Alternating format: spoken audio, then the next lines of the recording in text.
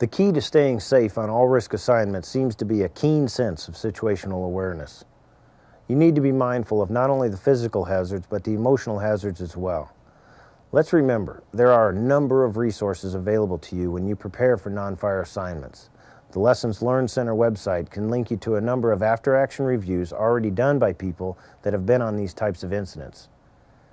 We would encourage you to do as much research as you can before mobilizing to a non-fire assignment.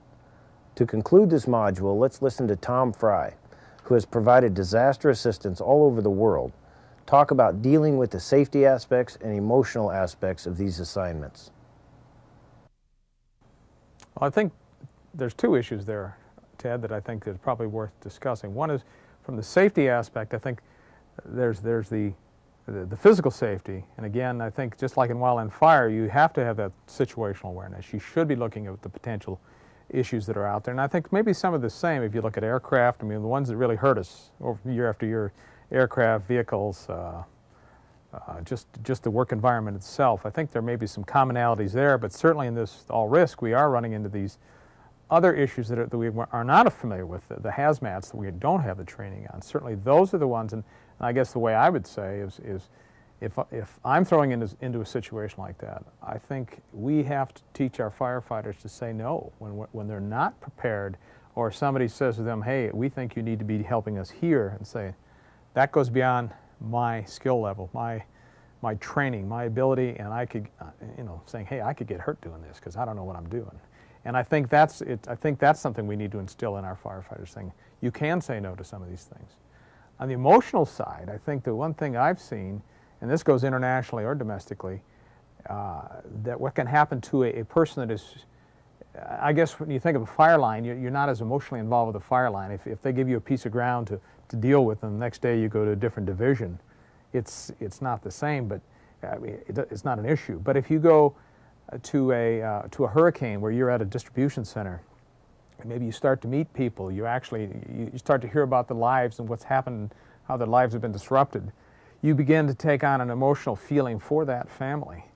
And then when you're 14 days or 21 days or 30 days or whatever the assignment is, then you're, then you're leaving. You feel like you haven't, there's no closure, that you're, that you're leaving people that are still in need. And that, I think, we need to teach our, our folks, I think, that saying, you know, take, take pride in what you've done, uh, realize that you've helped people, but also understand that you can't, you may not be there to complete the full cycle uh, when these folks, you know, to be there to get these folks back on their feet.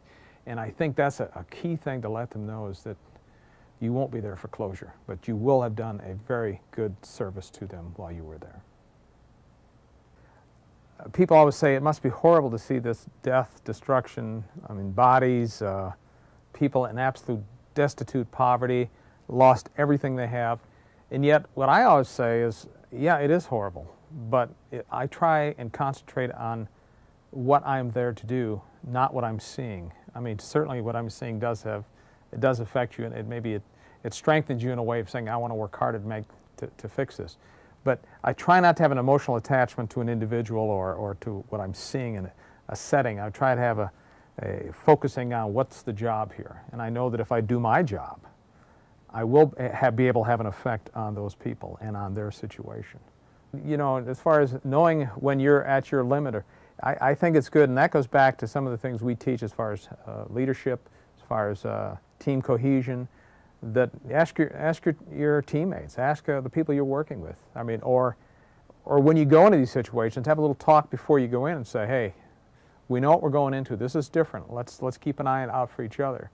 And I think sometimes you'll see that. It will show up in other people when they, you can see that they are changing. They're not the same people that you're, you know, you may see on, on the wildland, in the wildland fire situation, that now you're in an all-risk situation where they're, they're reacting differently, they're sounding differently, they're um, obviously emotionally they may be different. That's when maybe it's time to call a little timeout, a little team meeting, discuss it. And it could be that maybe somebody's not ready for that and that maybe they should remove themselves from that, that situation.